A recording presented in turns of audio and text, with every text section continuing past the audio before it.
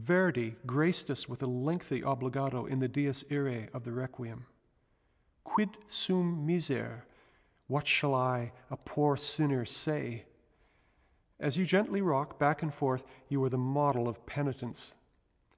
The hairpin markings should be played throughout, but be careful to scale back your expression when the soprano and tenor are singing. Play the staccato sixteenths dolce. It is often tempting to rush these tiny crescendi, so take care to keep your sixteenth notes steady and be prepared to follow the singers at all times.